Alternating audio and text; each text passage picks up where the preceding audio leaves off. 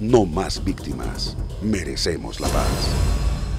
En Colombia, el mayor número de población somos mujeres. Somos las grandes víctimas de este conflicto armado que no nos corresponde. Es por eso que merecemos la paz. No más víctimas. Merecemos la paz.